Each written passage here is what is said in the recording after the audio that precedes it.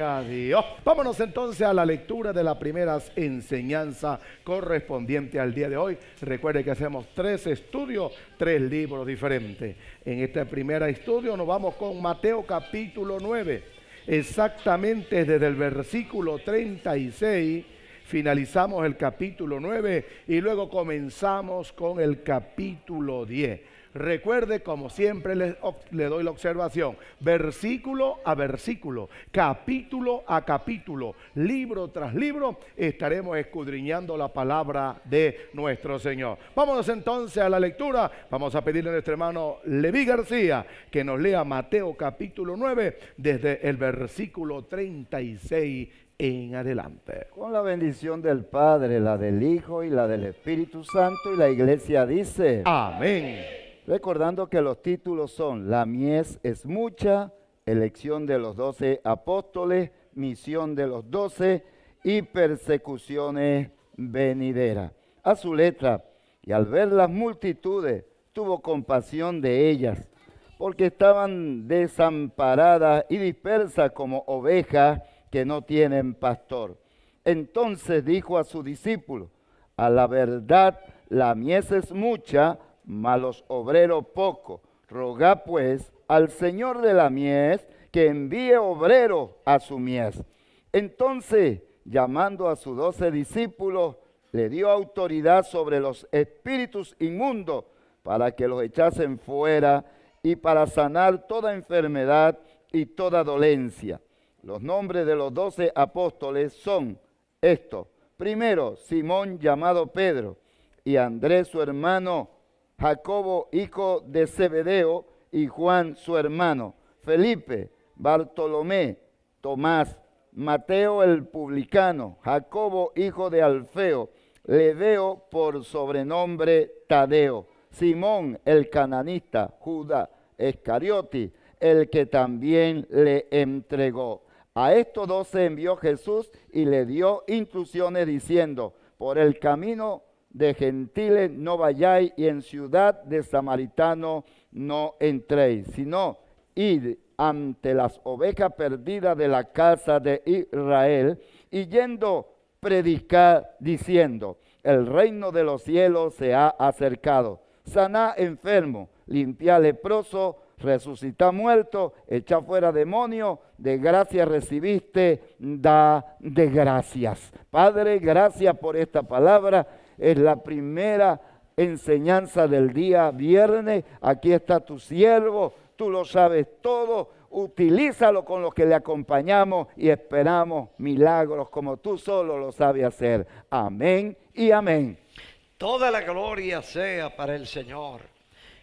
Hermanos, nosotros estamos estudiando Evangelio según San Mateo capítulo 9, a donde Jesucristo, uno de los puntos que tocó es que la mies es mucha. La mies significa el campo donde tenemos que sembrar la palabra de Dios. La mies es mucha. Usted no debe pensar nada más en el pueblito donde vive, en la ciudad, en el estado o departamento. Usted no debe enfrascarse en las fronteras de su país. Usted tiene que pensar en grande, más allá del continente. Usted tiene que pensar en toda la tierra. La mies es mucha. El Señor cuando el Señor dice que la mies es mucha, es porque la mies es mucha y mucha de verdad. A mí me toca, mis amados hermanos, desde el versículo 36 hasta el versículo 38 y en el versículo 36 dice, dígalo conmigo, al ver las multitudes, al ver las multitudes, tuvo compasión de ellas. Tuvo compasión de ellas. ¿Por qué tuvo Jesucristo compasión al ver las multitudes? Aquí está.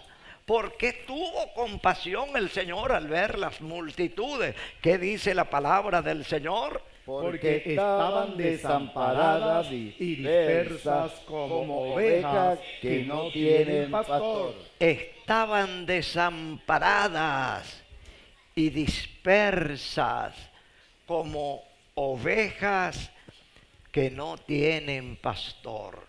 ¿Cómo se siente una oveja cuando no tiene pastor? Yo le voy a hacer esa pregunta a nuestro hermano Levi, que es muy avispado. Vamos a ver, hermano Levi, imagínese usted una ovejita en un desierto, en un monte, y no hay un pastor que la vaya a buscar. Se siente sola mi pastor. Y aparte de sentirse sola, se tiene que sentir desamparada y también expuesta al peligro de los lobos, porque la palabra desierto significa muerte. Se siente muy sola, muy sola, doctor Puerto. Así ve el Señor a la humanidad.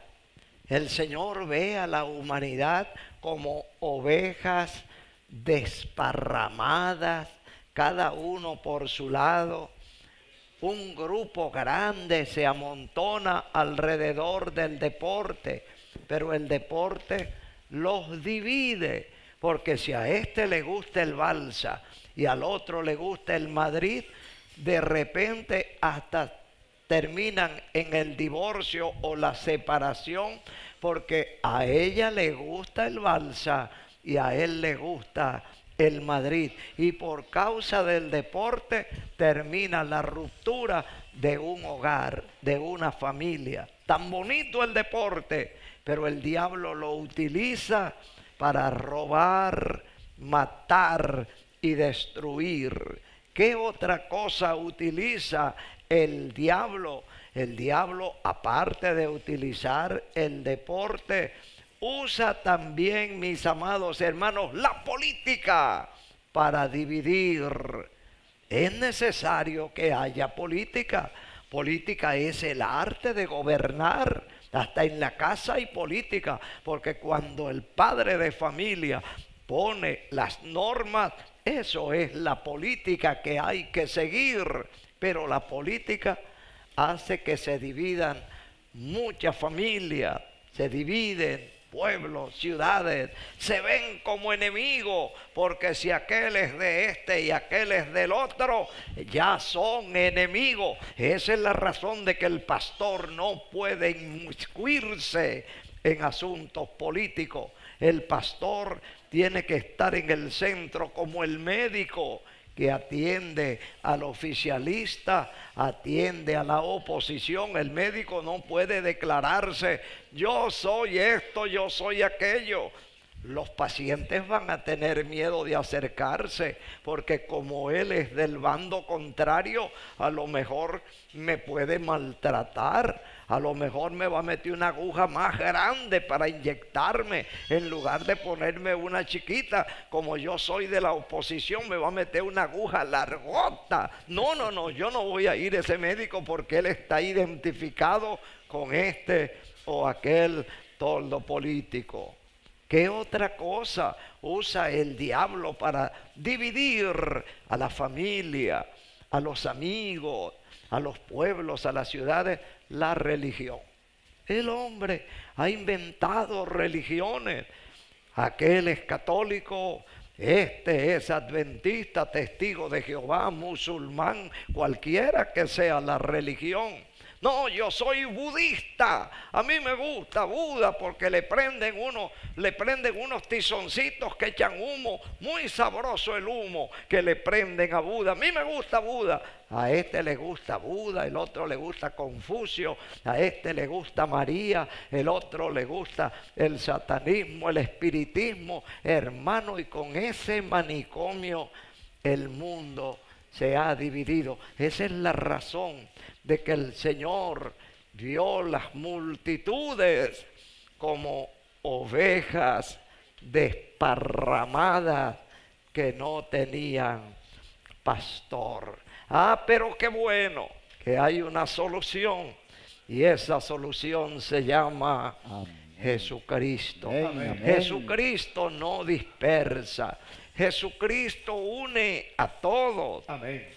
La Biblia nos dice que grandes multitudes seguían a Jesús porque veían las señales que hacía en los enfermos. Jesucristo no predicó religión, Jesucristo no predicó política, Jesucristo no predicó deporte, Jesucristo no era un comerciante, Jesucristo hablaba de nuestro Padre Celestial.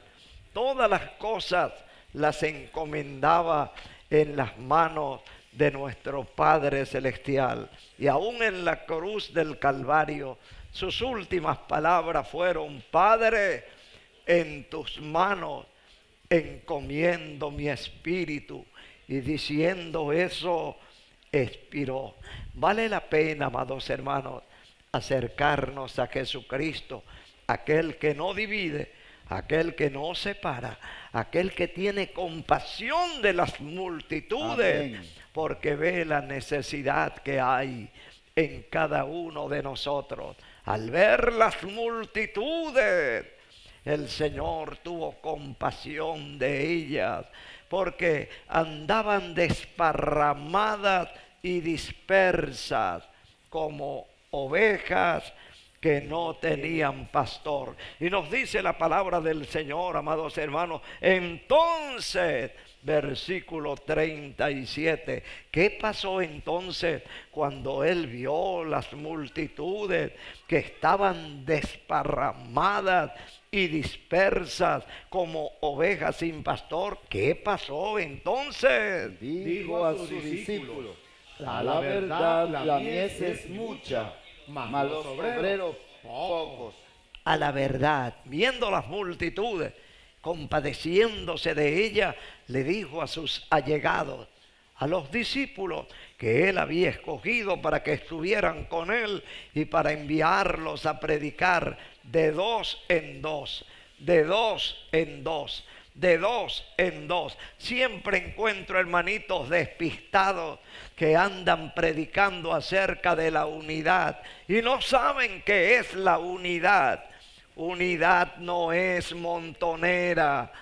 Unidad no es agarrar a los bautistas y meterlos dentro de la cueva de las asambleas y agarrar a las asambleas y meterlas dentro de la guarida de esta o de aquella denominación. El Señor tenía doce y los mandó de dos en dos.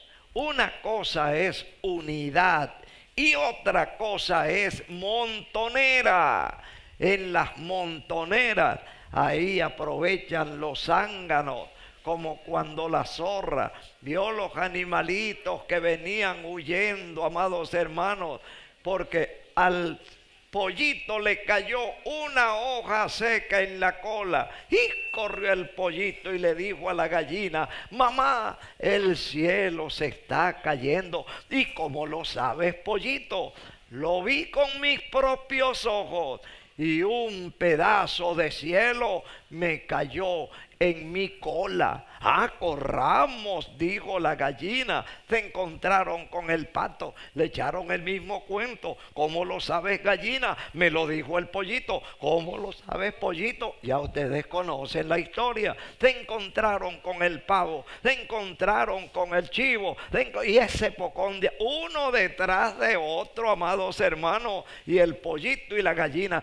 Cuando se encontraron con la zorra, la zorra les dijo, animalitos, ¿y para dónde van ustedes tan afanados, tan rápido? Venimos huyendo porque el cielo se está cayendo. ¿Y cómo lo sabe? Cada uno me lo digo, me lo digo, hasta que el pollito lo vi con mis propios ojos.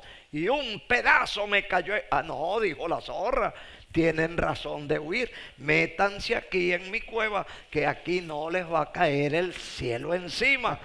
Y la zorra se sentó como buena zorra en la puerta. Ya no tenía que andar cazando por el monte. Ahí tenía los tontos empaquetados metidos en la cueva. Casi siempre los que predican unidad son unos zorros que quieren, amados hermanos, comerse las ovejas ajenas. La unidad es que yo te ame la unidad que ore por ti, Amén. la unidad que yo te sirva, Amén. la unidad que yo no hable mal de mi prójimo, la unidad es que no me sienta mejor que los demás. Amén, La unidad está en servir, en ayudar, en mirar al prójimo como a nosotros mismos, no hacerle nunca al otro lo que tú no quieres que te hagan a ti. Mirando al Señor las multitudes,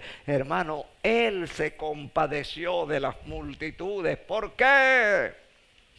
Porque estaban desparramadas, cada uno por su lado, como ovejas sin pastor. Y luego le compartió a sus allegados. Él les dijo, diga conmigo. Entonces les digo a sus discípulos, a la verdad la mies es mucha, A la verdad, la, mies es mucha, pero los obreros mas los obreros son pocos. Son pocos. Apenas tenía 12 hombres solamente. Apenas tenía seis equipos evangelísticos para enviarlos de dos en dos, de dos en dos. A la verdad, dijo él, la mies es mucha. Imagínese, si era mucha cuando no había tanta población en la tierra, ¿cómo verá el Señor hoy la mies cuando tenemos siete mil millones de habitantes en el planeta Tierra? ¿Cómo verá el Señor la necesidad hoy en día? Si hace dos mil años le dijo a sus discípulos, ay, yo tengo compasión de la gente, tengo compasión de ellos, porque son como ovejas que no tienen pastor. Y la mies es mucha, y los obreros apenas tengo seis equipos evangelísticos, nada más tengo doce allegados para enviarlos de dos en dos. Gracias doy a mi Padre Celestial, que hoy no se necesitan millones y millones y millones. Desde aquí, cuatro gaticos, estamos mandando la palabra Amén, de Dios amén. a toda la Ajá, tierra. ajá,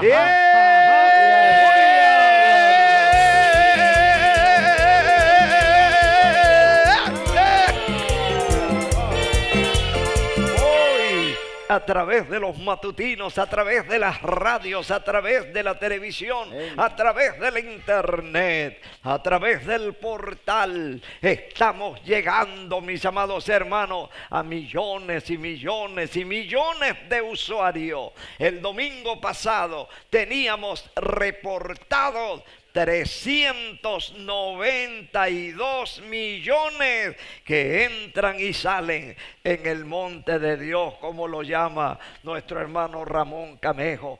392 millones de esas grandes multitudes. Ya el Señor tiene en el saco 392 millones. Diga conmigo, y los que faltan. Y los que ¡Yeah!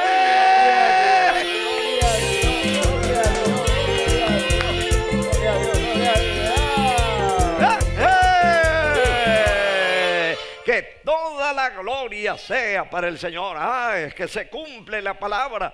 El Señor dijo que proveyendo Dios alguna cosa mejor para nosotros, para que no fueran ellos perfeccionados aparte de nosotros.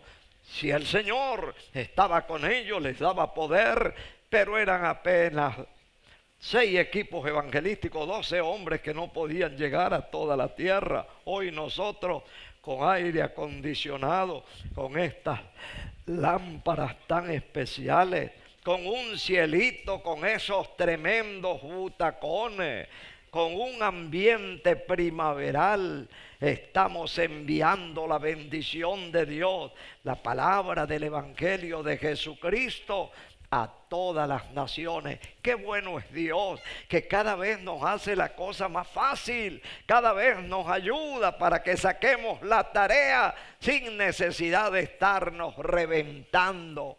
Bendito sea el nombre del Señor. Yo pregunto, ¿Dios es bueno o no es bueno? Muy Lisandro? bueno, muy bueno, muy, muy bueno. bueno. Y el último versículo, Jesucristo le dijo a sus discípulos, diga conmigo, rogad al Señor de la mies Rogad al pues, Señor de la miel que envíe que envíe obreros obreros a su mies. a su mies. Ruéguenle a mi Padre que mande bastante obreros. Yo creo que la oración de ellos la está contestando el Amén, Señor amén. hoy. Nos está multiplicando por millones y millones Amén, y millones amén. de predicadores. Hoy estamos metidos en los taxis, Amén. estamos metidos en los edificios, Amén. en los pueblos, Amén. en las ciudades, en los barcos, en los aviones, en los teléfonos móviles, en las radios, en las televisoras, en los mercados. Estamos en los lugares de trabajo, estamos en las grandes mansiones y estamos en los campos, estamos en los caseríos, en las aldeas. Nos están viendo los indios en la Guajira, en Amazonas, En Delta. Macuro, en el estado Bolívar.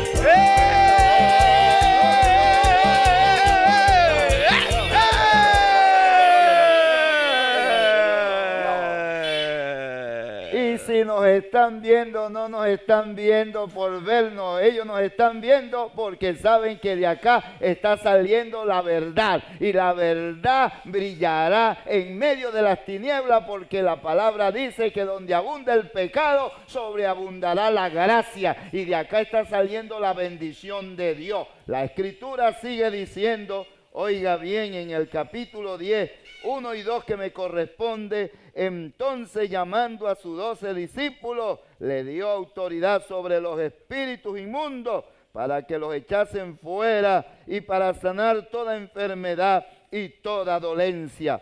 Los nombres de los doce apóstoles son estos. Primero, Simón, llamado Pedro, y Andrés su hermano, Jacobo hijo de Zebedeo y Juan su hermano.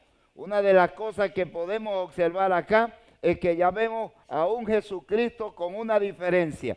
Hay una diferencia entre la verdad de Cristo, entre la bendición de Jesucristo, que es compasión, y la mentira del mundo, de las religiones, que es lástima. Jesucristo no le tiene a usted lástima, Jesucristo le tiene compasión, porque la lástima es una cosa y la compasión es otra. El que tiene compasión se siente como la otra persona y lo mueve a ayudar. Por eso Jesucristo se movió a morir en la cruz del Calvario para que nosotros que estábamos muertos, hoy con alegría decimos que estamos vivos, vivos en el Señor.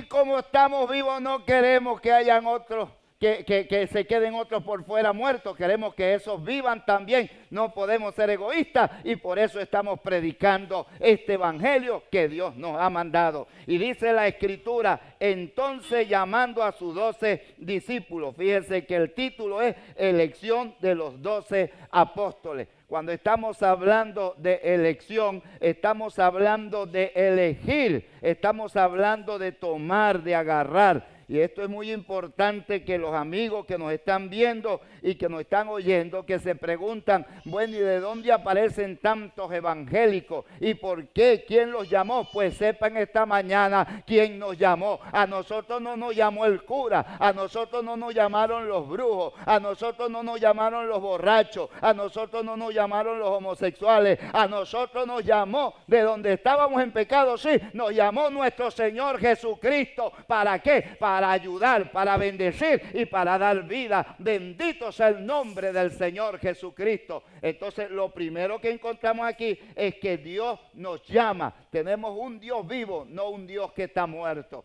Lamentablemente algunos se han quedado con el Dios muerto, el Dios que produce lástima, el Dios que lo hace cambiar por una semana nada más. Pero nosotros no hemos creído en ese Dios, nosotros hemos creído no tan solo en el que murió, nosotros también creemos en el que al tercer día resucitó. No está aquí, no está entre los muertos, está vivo. Bendita sea la gloria del Señor. En ese hemos creído y ese fue el que nos llamó y no nos llamó, vuelvo a repetirlo, para hacer cosas malas, para robar, no, para quitarle la mujer al prójimo, no, para andar entre ociosidades, no, nos llamó fue para predicar el Evangelio, para extender el reino de los cielos. Por eso es que la Escritura dice bien claro, y por todo el mundo y predicar el Evangelio. Solo Personalmente no lo hubiese podido, pero desde aquí, desde los matutinos, desde el monte de Dios, si estamos llegando al mundo entero y no van a ser tres millones y pico nada más, si ahora es que vienen millones y millones, porque muchos seguirán convirtiéndose a nuestro Señor Jesucristo.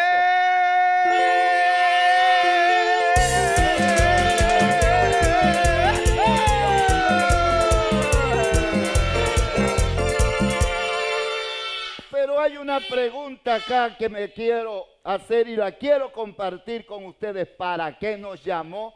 Vamos a ver, vamos a seguir porque queremos seguir viendo aparte de dar salvación y ayudar a otros. Dice aquí que nos llamó para qué? Para que tuviésemos autoridad. Dice, le dio autoridad sobre los espíritus inmundos. Para eso nos llamó, para darnos autoridad. Y a mí me llama mucho la atención porque cuando estamos hablando de autoridad, oye, esto me tiene a mí, eh, me toma mucho en cuenta testimonios que tenemos por cantidades. Pero una de las cosas que yo puedo ver que la mayoría de los entes, de los entes gubernamentales que son una autoridad, el uniforme le dice muchas cosas y nuestro uniforme que nosotros sabemos que está por dentro, que es ese vestido blanco, que es esa vestidura blanca que fue lavada en la sangre de Cristo, pero también ese uniforme que tiene la obra Luz del Mundo no es un uniforme cualquiera. Yo recuerdo que cuando uno está en la eh, eh, afuera, que va por el camino y de pronto se ha accidentado, de pronto le llega una persona. A mí me ha sucedido.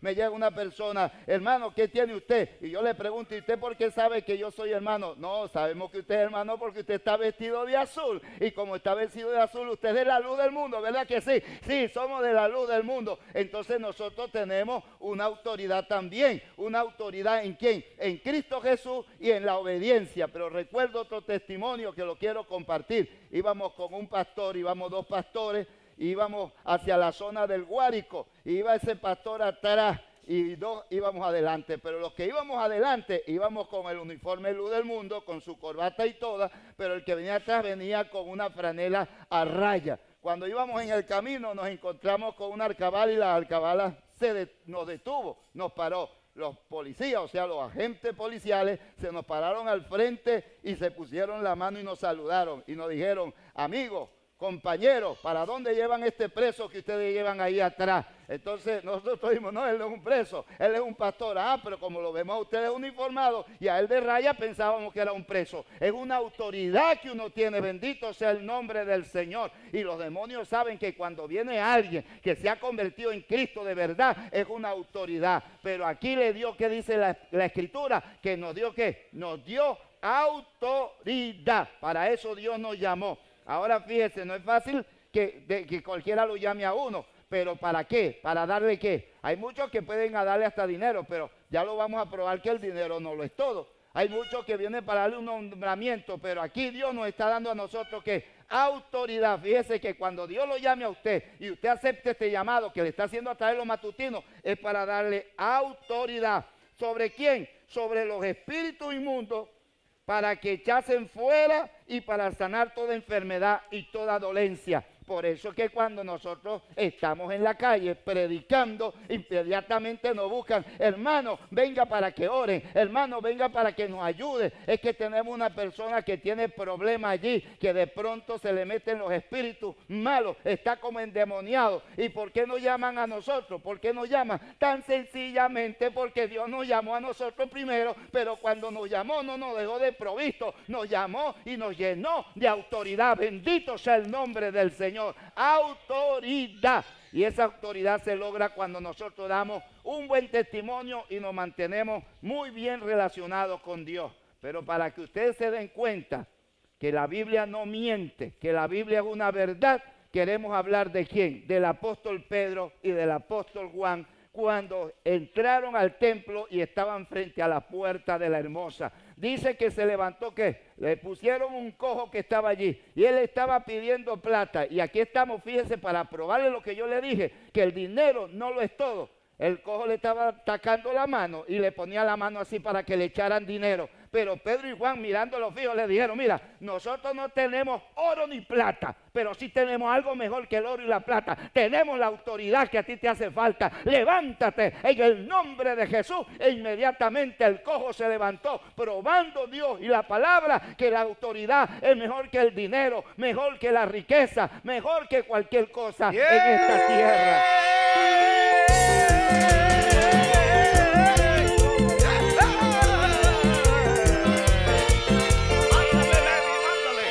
Que un evangélico, un creyente no se puede estar menoscabando, no tiene por qué estarse sintiendo menoscabado, menospreciado. Un evangélico no se puede sentir con la autoestima baja. ¿Por qué? Porque nosotros quizás no tenemos un carro último modelo, quizás no tenemos un avión literalmente hasta ahora, porque en fe ya tenemos satélites, ya tenemos aviones, ya tenemos barcos y tenemos todas esas cosas. Y sabemos que algunos alcanzan eso porque Dios se lo permite y otros lo permite tenerlo en otra posición. Pero lo único que sí sabemos es que tenemos autoridad y vale más un poder de unción que cuando usted le diga a los endemoniados que era libre que mil carros, que mil millones de bolívares, porque mejor es la autoridad de Dios acompañada con la gracia que es Cristo Jesús y el Espíritu Santo.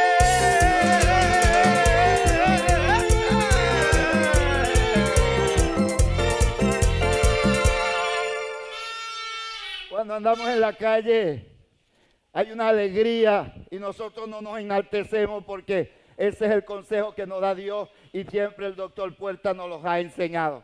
Pero por donde quiera que nos estamos movilizando, por donde quiera que vamos, la gente nos mira, se sonríen. Y usted es el hermano de los matutinos, sí, yo soy el hermano de los matutinos. Usted es el hermano Levi, sí. De pronto uno llega y de pronto te dice, écheme la bendición. Y la bendición, ¿por qué? Ah, porque usted es mi papá espiritual. Yo me convertí con usted. Nosotros somos convertidos de allí, de los matutinos. Eso para nosotros es una alegría. Quizás yo ando y usted me ha visto mucho lo que me han visto a pie. De verdad que sí, me monto en la buceta, aprovecho a predicar, pero cuando me ven, ellos no me ven a mí que, no me ven a mí triste, me ven sonriente, pero ¿por qué me ven sonriente? Porque mi felicidad no está quizás en un carro, no está en una casa grande, no está quizás en, en cantidades de dinero, mi felicidad está en que yo pueda servir al Señor, en que nosotros tenemos autoridad para ayudar a los que están pasando por pruebas y lucha. Y los que tienen mucho dinero, los que tienen mucha finanza, saben que nosotros nosotros no estamos hablando mentira y que Dios hoy le está diciendo que inviertan. ¿Inviertan a dónde? En esta bendición de extensión del reino. ¿Para qué? Para que hayan muchos, hayan muchos que tengan autoridad. Porque cuando hayan muchos afuera con autoridad, ya no van a ver con ametralladora gente, ya no van a ver con puñales, ya no van a ver gente en las esquinas metiéndose la droga por la nariz.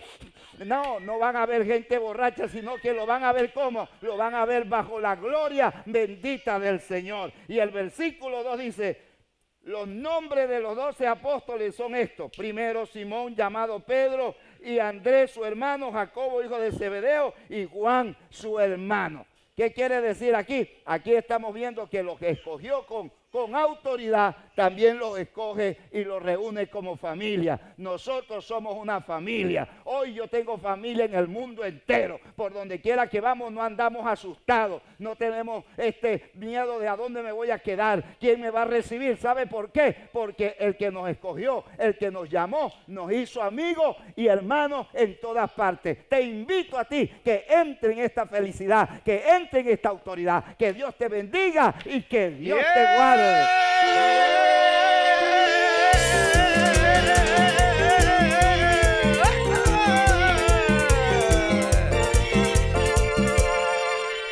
¿De qué estamos hablando? De la comisión que Jesús usó a sus doce discípulos dándoles autoridad. Y aparecen los nombres de esos doce discípulos. Uno pues tristemente conocido como Judas también fue en esta comisión. Así que no se extrañe que a veces se consigan gente que diga, este no puede ser, pero sí, aquí estaba Judas, que después que actuó de diferentes maneras. Estamos exactamente en Mateo capítulo 10, del versículo 3 hasta el 6, que es el que me corresponde a mí. Y allí aparece en el nombre de muchos. Quizás, fíjese, por lo malo es famoso Judas mucho más, más conocido que, que Tadeo, que Jacobo. Oigan los nombres. Felipe, Bartolomé, Tomás, Tomás el incrédulo, Mateo el publicano, Jacobo, hijo de Alfeo, Leveo, por sobrenombre Tadeo, Simón el cananista y Judas Iscariote, el que también le entregó. El Señor eligió de ese grupo de personas que andaban con él, eligió a los doce apóstoles. Pero lo primero que le dio fue autoridad. Pero la autoridad en sí mismo requiere responsabilidad. Por eso dice el versículo 5 del capítulo 10, dice, a estos a estos doce, no tiene nada que ver con el grupo de los doce, que si son doce, no, todo era un, un proceso que Dios estaba empleando para darnos ejemplo. Comenzó con dos, con uno en el jardín del Edén, luego fueron dos y luego son muchos. Comenzó con doce, luego comienza con los setenta y luego envía a todo el mundo a predicar el Evangelio. Pero en el caso que nos ocupa es a los doce discípulos o los doce apóstoles. Dice, a estos doce envió Jesús y les dio instrucciones. Ellos tenían autoridad, pero tenía a alguien que era responsable de ellos, a alguien que lo envió. Pero que ese alguien llamado Jesús, además que los envió,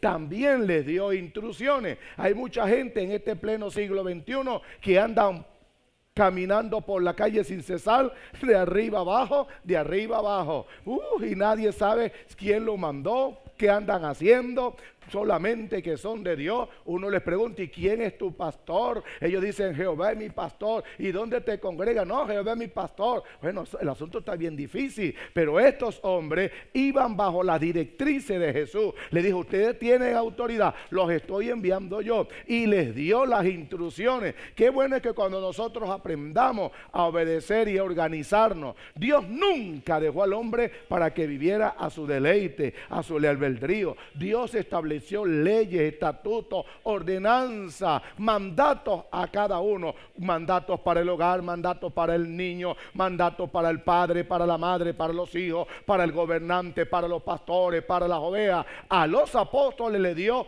instrucciones y los envió. Oiga las instrucciones. Le dijo, por camino de gentiles no vayáis. Esa era la instrucción. ¿Cuáles son los caminos gentiles? No tenía nada que ver con el pueblo judío. Los que no eran hebreos, los que no eran israelitas. Usted no se vayan para ese lado. Si ellos llegaban y se iban a ese lado, ya estaban quebrantando las instrucciones. Pero como ellos eran obedientes, se fueron por el camino que no era de los gentiles. Porque la orden es, por camino de gentiles no vayáis. Usted dirá, hermano Henry, ¿por qué no lo mandó para los caminos de gentiles? Porque era necesario que se cumpliera primero la promesa o la, la profecía que iba a ser despreciada por los de él. A los suyos vino y los suyos no le recibieron. Pero a los que le recibieron le dio la potestad de ser llamado hijo de Dios. Era necesario que Israel despreciara primero al Señor para que luego nosotros los gentiles agarráramos esa torta de bendición. Lo que ellos no quisieron, ahora nosotros somos el olivo fresco de grandes bendiciones. Y segundo, le dijo, y en ciudad de Samaritano tampoco entré. Son sus instrucciones. Y el versículo 6 era, como se dice, en la profundidad de los mensajes que el Señor les había dado. Dijo, si no, y antes a las ovejas perdidas de la casa de Israel. Vayan y predíquele primero a las ovejas perdidas de la casa de Israel. Y es inverosímil que usted me diga, hermano Henry, pero ¿cómo son de las ovejas perdidas de la casa de Israel si ellos son el pueblo de Dios? Sí, pero se habían apartado de las leyes y estatutos que le escribió Moisés en el monte del Sinaí. Cada cual apartó por su propio camino, cada quien andaba haciendo, pero entonces llegó el camino perfecto, el nuevo pacto a través de Jesucristo. Y habla de las ovejas perdidas. Significa que si hay ovejas perdidas, es que también hay ovejas que han sido salvas. ¿En cuál de este tipo de ovejas usted se encuentra? En las ovejas que hayan sido y están en el redil de la casa del Señor. Jesús tenía compasión de las ovejas que estaban dispersas y que andaban como quien no tienen pastor. Pero hay ovejas que sí están en el redil y que son ovejas del Señor. Y entonces el Señor dijo, el cielito. ¡Yeah! ¡Gloria a Dios! ¡Gloria a Dios! Aquí el cielito y mucha parte del cielote son las ovejitas que están en el redil. No andan dispersas, no andan desamparadas. Una oportunidad se murió un amigo mío y él no quería congregarse. Yo no me quiero congregar, yo tengo mucho conocimiento de la palabra del Señor. Y él andaba como oveja dispersa y se murió. Y después decía, bueno, ¿y quién le va a hacer el, los servicios fúnebres? Porque no tenía pastor. ¿A quién busca? ¿Quién puede dar testimonio de él? Porque él decía que su Jehová era su pastor y nadie me faltará. Y entonces como yo lo conocía, llamé a la familia y le dije, esto no se hace. Todo creyente debe tener una iglesia donde congregarse. Debe tener un pastor para que cuando sucedan estas cosas no sea como oveja dispersa, desamparada. Significa que una persona desamparada no tiene protección no tiene quien hable de testimonio de Él, no tiene quien lo dirija. Y nosotros somos enviados. Oiga bien, la comisión que Jesucristo le entregó a los doce apóstoles, eso sí no ha cambiado. Ellos fueron enviados a la casa de Israel. Jesucristo, luego que resucitó de entre los muertos, se le presentó a Tomás, se le presentó a los discípulos allá en el monte de Betania, antes de subir a los cielos, le dio potestad y le dijo, vayan por todo el mundo y prediquen este evangelio. Nos entregó a nosotros también esa autoridad y nos dijo sobre los enfermos, pondrán también las manos. Ya no son 12, ya no son 70, ahora somos millones y millones que andamos por la tierra trayendo la palabra del Señor.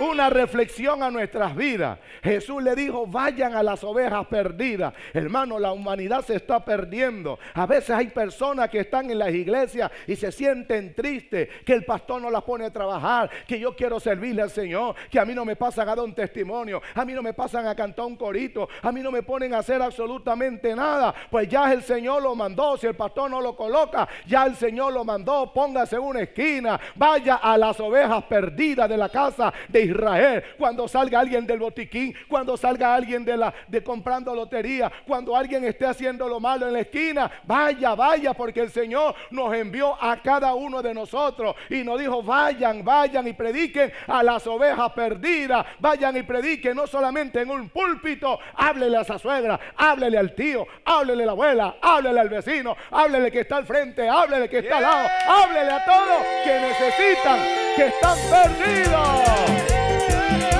Dios, gloria a Dios, gloria a Dios, gloria a Dios, gloria a Dios.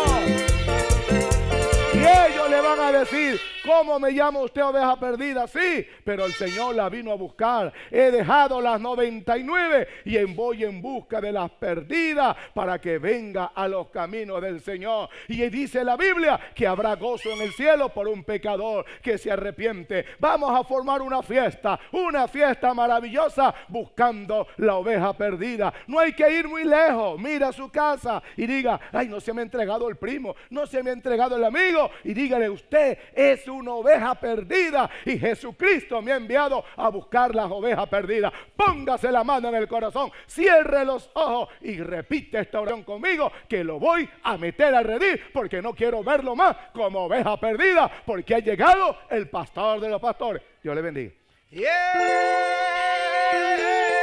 Gloria a Dios, gloria a Dios, gloria a Dios, gloria a Dios, gloria a Dios, gloria a Dios. Dios. Bueno, que Dios me les bendiga. A todos me corresponde el versículo 7 y el versículo 8. Dice, y yendo predicar diciendo, el reino de los cielos se ha acercado. Sana enfermo, limpia leprosos, resucita muertos, echa fuera demonios. De gracia recibiste, da de gracia. Estamos viendo las instrucciones de Jesucristo para sus discípulos, eh, estas maravillosas recomendaciones del Señor para que sus discípulos salgan ya a predicar el Evangelio de Jesucristo. Y después de darle estas recomendaciones le dice, y acercan, dice el versículo 7, y yendo predicar diciendo el reino de los cielos se ha acercado. Maravilloso porque hoy estamos viendo esta palabra del Señor y que usted nos estaba oyendo. Jesucristo le, les da la instrucción, ahora le dice, yendo predica el reino de los cielos se ha acercado. Una de las cosas que Jesucristo enfatizó en que nosotros, los discípulos de Él, aprendiésemos a hablar de Él y no hablar de nosotros mismos, hablar del reino de Dios, hablar que el que se había acercado y que se está acercando hoy, cada día, a los hombres es el reino de Dios. Hablarle porque si el hombre se pone a hablar de sí mismo, se pone a hablar de sus historias, se pone a hablar de lo que ha sucedido en él, pues no va a tener ningún éxito. Pero cuando nos ponemos a hablar de Jesucristo, de, de, lo que Cristo hace en cada hombre, de lo que Cristo hace en cada mujer, en cada niño, en cada ser humano, cómo Cristo transforma las vidas, cómo el reino de Jesucristo se mete en los hogares y va transformando vidas, va transformando el borracho, va transformando al drogadicto, va transformando al homosexual, al delincuente, lo va transformando de una manera porque eso es lo que hace el reino del cielo, porque eso es lo que ha venido el reino de Dios en medio de nosotros, a sacarnos de las tinieblas para traernos a su luz, en la luz de Cristo que va resplandeciendo en cada vida. Y, le sigue diciendo el versículo 8, sana enfermo, limpia leproso, resucita muerto, echa fuera demonios, de gracia recibiste, da de gracia. Qué maravilloso. Porque es lo que Cristo nos enseñó. Al lugar donde vamos a predicar el reino de Dios, pues también es el reino de Dios, viene con señales viene con prodigio, viene con milagro. Si hablamos de Cristo, pues Cristo está dispuesto a hacer cosas maravillosas. Si le hablamos de Cristo, si le hablamos a las personas que Cristo sana, pues tenemos que darle la palabra a esta persona para que reciba el milagro de sanidad.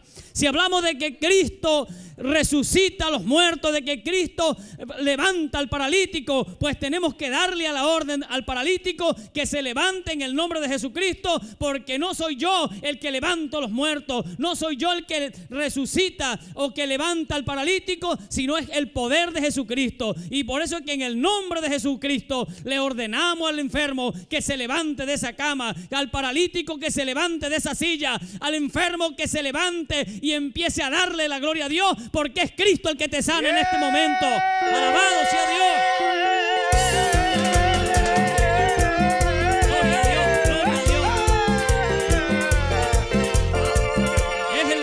De Dios el poder de Dios que está transmitiéndose a tu vida. Es el poder de Dios que se está metiendo en tu hogar y que está, te está haciendo temblar bajo ese poder poderoso. Y que usted está sintiendo ese poder de Dios. Y que usted tiene que empezar a hacer lo que no hacía. Porque Cristo en esta mañana está dispuesto a sanarte. Por eso la escritura dice, de gracia recibiste, da de gracia. ¿Qué hemos recibido de gracia? Hemos recibido la salvación.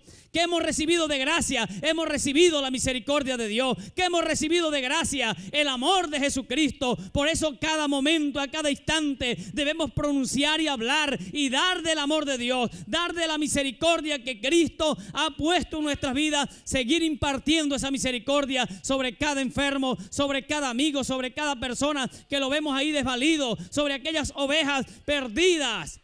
Nosotros estamos llamados a, reconciliar, a buscar esas ovejitas perdidas que ya no están perdidas porque ahora el poder de Dios está llegando a sus hogares, que ya no están perdidas, sino que están a un paso de la salvación, solamente confesar a Cristo y ya han encontrado al Salvador, han encontrado al pastor de los pastores, Jesucristo, el Hijo de Dios. Que Dios te bendiga y que Dios te guarde.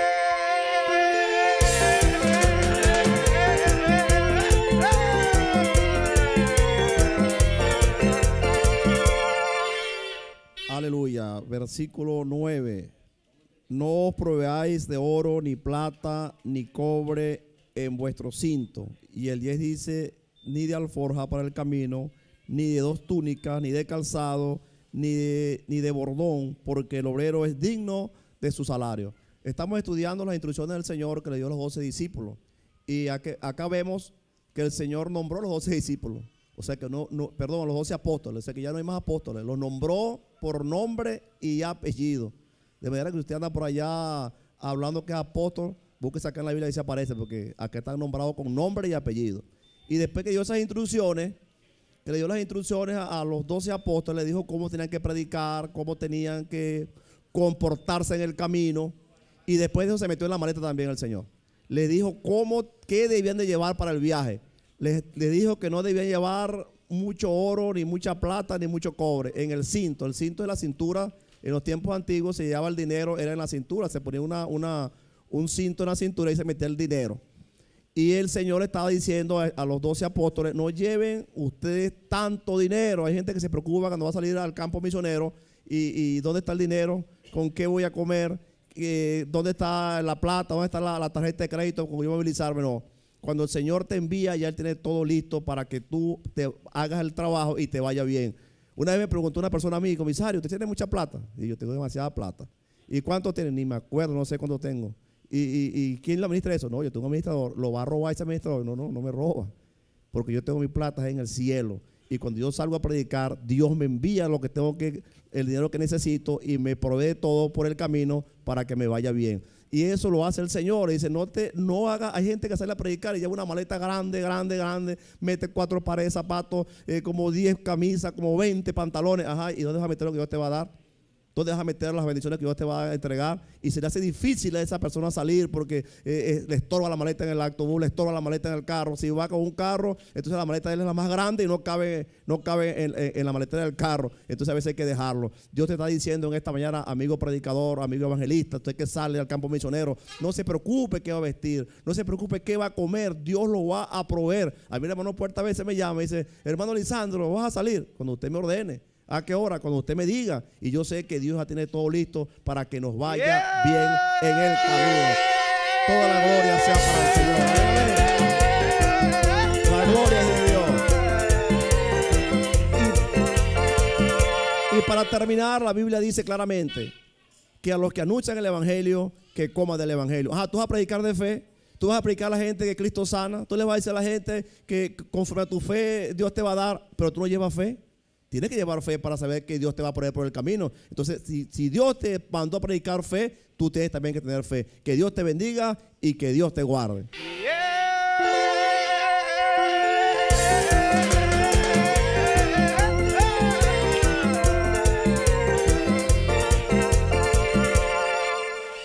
Gloria a Dios. El versículo 11 me corresponde y dice, mas en cualquier ciudad o aldea donde entréis, informaos quién en ella sea digno y posad allí hasta que salgáis. Estamos estudiando el capítulo 10 acerca de las instrucciones que el Señor le dio a sus discípulos cuando los envió a predicar su palabra. Y esto es importantísimo porque hasta el día de hoy en nuestras congregaciones todas las noches se da un punto de doctrina y esto es doctrina lo que estamos viendo. Porque Dios quiere que todo aquel que es enviado por Él a predicar el Evangelio sea una persona disciplinada, una persona que conozca su trabajo, que tenga instrucciones, que sea enseñado. Y algo tan sencillo que les está instruyendo, le está enseñando aquí, es que donde ellos llegaran, sea pueblo, sea ciudad, sea aldea, sea campo, ellos preguntaran qué persona allí era digna, merecía que hospedara a un enviado de Dios. y que entraran a esa casa y no salieran de allí hasta que terminaran su trabajo. ¿Con qué finalidad el Señor instruyó a sus discípulos y nos instruye a nosotros hoy? Es para defender el testimonio del Evangelio y para defender su testimonio usted que ha sido enviado por Dios. Porque a veces con la conducta, por falta de acatar las instrucciones o la doctrina, o por ignorancia, por no ser instruido antes de salir a predicar la palabra, entonces se cometen errores. ¿Cómo queda el testimonio de un evangelista que llegue a un pueblo, a una casa y empiece a caminar de casa en casa, recogiendo por allí algunas informaciones? Entonces ese testimonio queda mal. O que se hospede en un lugar donde eh, haya eh, comodidades, que se haya acondicionado, que se buena comida, Donde pero de, droga. Ah, ah, o de droga. pronto es un brujo que lo hospedó, pero él se fue a casa del brujo, a casa del narcotraficante, porque allí es donde lo van a hospedar bien. No, el evangelista que ha sido enviado busque un lugar digno donde él pueda orar, donde él pueda ayunar, donde eh, su testimonio se cuide y que lo conozca la gente en la noche que está predicando la campaña. Porque hay que cuidar el testimonio. Yo creo que el Señor le está instruyendo a sus discípulos y nos está instruyendo a nosotros hoy para que el testimonio de nosotros sea guardado y que el Evangelio sea glorificado por la conducta de ese enviado de Dios. Que Dios les bendiga. Amén.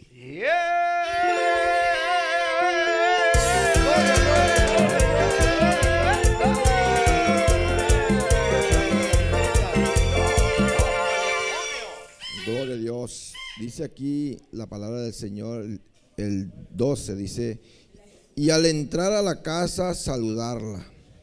Y si la casa fuese digna, fue, vuestra paz vendrá sobre ella, mas si no fuere digna, vuestra paz volverá a vosotros. Gloria a Dios. Vemos que en esta misión que el Señor mandó a sus discípulos, ¿verdad? Vemos que los mandó a que entraran a pueblos, a ciudades, ¿verdad?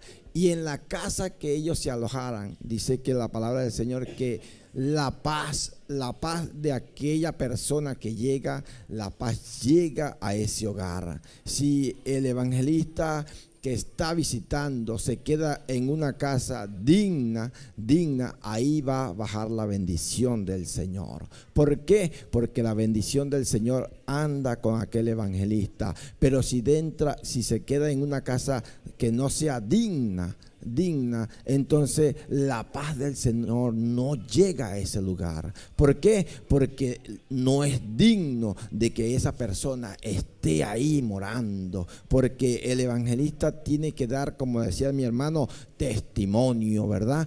Testimonio de qué? De que llegó en un lugar y estuvo ahí y la persona, cuando ese evangelista salga de esa casa, la persona esté dando testimonio de ese evangelista, de que es un evangelista honesto, de que es un evangelista que busca de Dios, que el Señor lo está respaldando, ¿verdad? ¿Por qué? Porque en la casa es digna. Así la bendición bajará a ese lugar. Que el Señor me les bendiga y que el Señor me les guarde. Amén.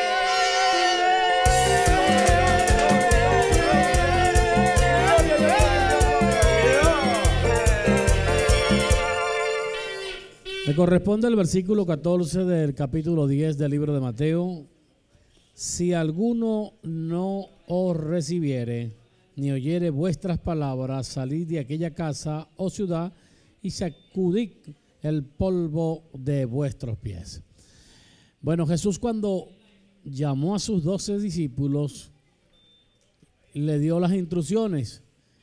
Y aquí se lo dio a ellos, a sus doce discípulos que estaban en ese momento, y nos la está dando también a nosotros, o nos la está recordando a nosotros esas instrucciones tan, tan exactas que si nosotros las cumplimos van a ser de mucha bendición en nuestra vida, en nuestro ministerio y en todo lo que emprendamos en la vida. ¿Por qué? Porque si seguimos la instrucción del fabricante, de aquel artefacto o de aquel auto, aquel auto va a caminar bien o aquel artefacto va a caminar bien. Si nosotros seguimos las instrucciones que da la palabra de Dios, que nos da el Señor así como Jesús se la enseñó a sus discípulos, nos la está enseñando a ustedes que me están viendo a través de Luz TV, a aquellos que están oyendo a través de eh, Luz 102.1 y todas las emisoras que están retransmitiendo. Y lo que estamos acá nos está instruyendo y nos está recordando qué es lo que debemos hacer y qué es lo que no debemos hacer. Aquí dice la palabra que si alguno no recibiere, bueno, muy sencillo, ni oyere vuestras palabras, salid de aquella casa o ciudad. Habrá una casa digna donde lo reciban, como decía el hermano que habló hace un momento, pero habrá otra casa que no lo va a recibir, ¿verdad? Si alguna persona no recibe, un pueblo, una ciudad, no quiere recibir la palabra de Dios, sencillamente Cristo dijo, bueno, pasen al otro lugar donde os reciban la palabra, porque donde reciben la palabra van a tener la bendición, donde reciben la palabra van a obtener el milagro, las señales, los prodigios, va, Dios va a proveer todas cosas de lo que haga falta. Eso es algo tan sencillo que está escrito en la palabra. Salí de aquella ciudad, casa o ciudad y sacudí el polvo de vuestros pies.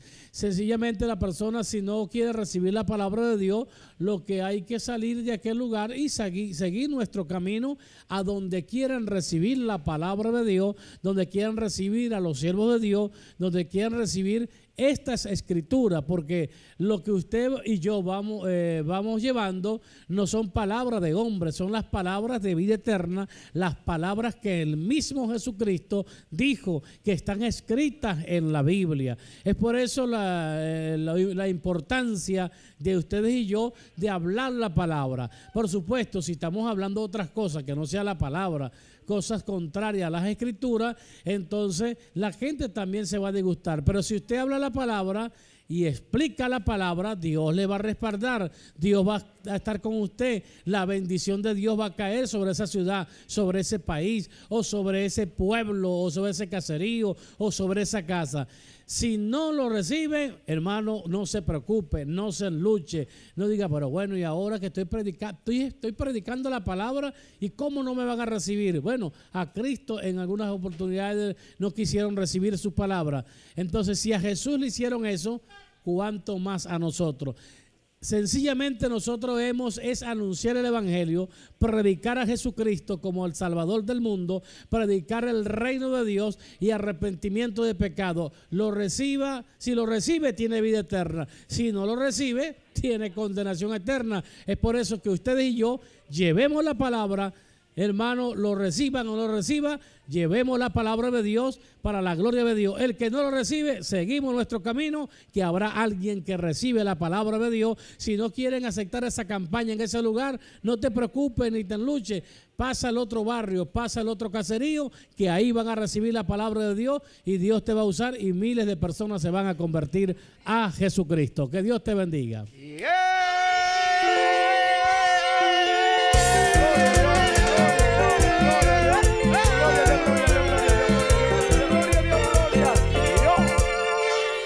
Gloria al Señor Jesucristo. Estamos en Mateo capítulo 10. Me toca el versículo 15. Dice así, de cierto os digo que en el día del juicio será más tolerable el castigo para la tierra de Sodoma y de Gomorra que para aquella ciudad. Qué tremenda palabra Dios nos está dando en esta preciosa mañana. Gloria al Señor acerca de esto, de lo que viene. Gloria a Dios y de la gente que no aceptan la palabra del Señor. Aquí la palabra del Señor dice que será más tolerable.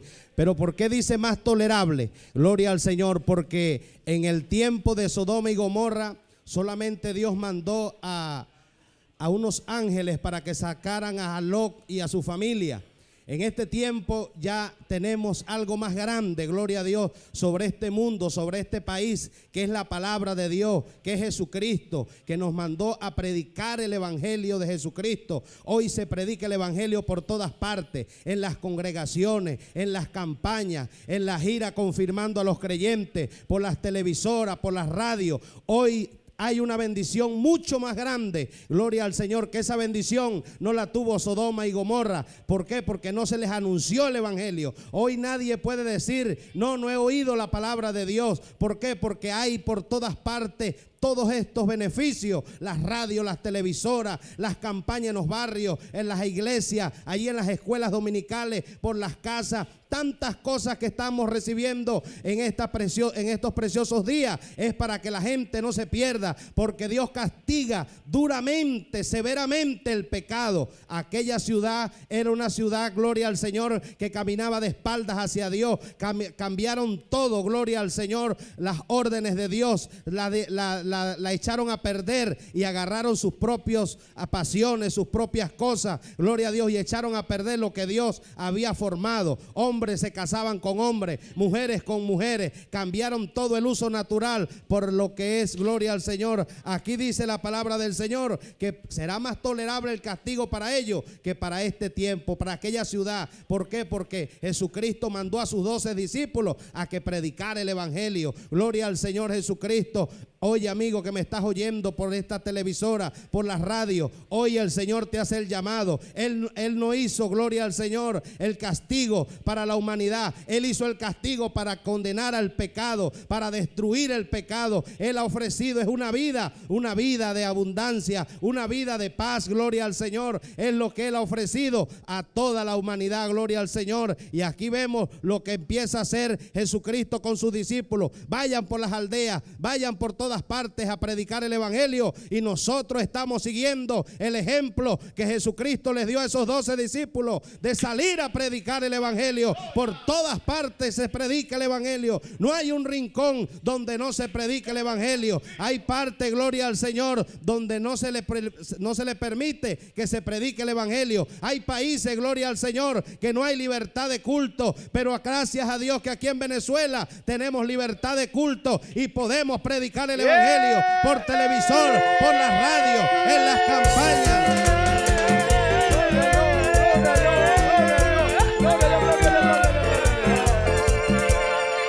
Cuesta predicar el Evangelio en otros países. Nuestro hermano Edgar siempre cuenta que se reúnen es por allí en cuevaditos porque no hay una libertad. Hay que sacar muchos permisos para poder hacer una concentración y a veces no la aceptan. Gloria al Señor, mientras que nosotros aquí en Venezuela estamos explotando a Venezuela con la palabra del Señor. Por todas partes se predica el Evangelio, por las radios, por las televisoras. Gloria al Señor, por internet. Gloria a Dios. Dios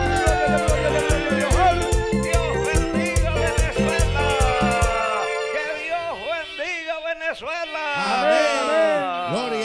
Venezuela ha sido saturada por la palabra del Señor. Venezuela ha sido una, una bendición. Gloria al Señor. Dios ha, ha sembrado su palabra en este país. Aquí no se ve tantas desgracias como se ven en otros países. Terremotos, vienen tormentas. No, no, Dios nos libra porque hemos aceptado la palabra de Dios. Y cuando se acepta la palabra de Dios, viene la bendición de Dios. Dios cuida, Dios protege la ciudad. Gloria al Señor. Aleluya. Ciclones,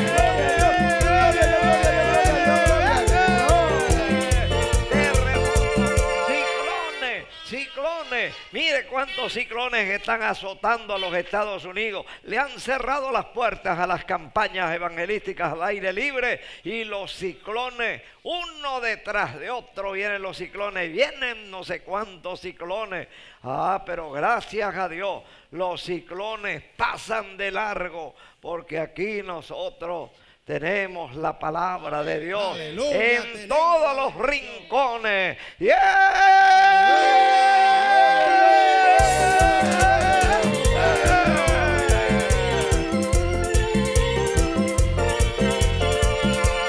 guarda a Venezuela, Dios cuida a Venezuela.